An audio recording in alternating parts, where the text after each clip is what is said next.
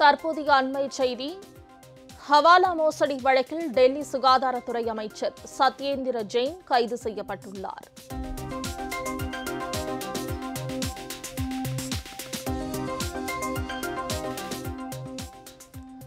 சட்டவிரோத பண பரிமாற்ற தடுப்பு சட்டத்தின் கீழ் கைது செய்து நடவடிக்கை எடுக்கப்பட்டுள்ளது.